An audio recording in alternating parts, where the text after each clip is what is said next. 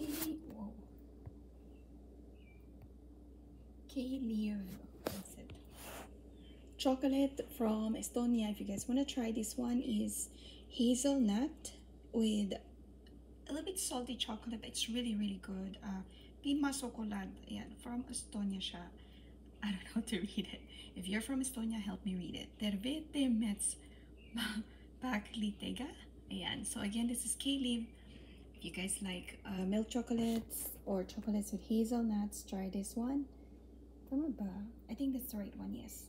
It doesn't have uh, much sweetness in it, which, may, uh, which makes it really good. I only got one because, uh, you know, I can only afford one.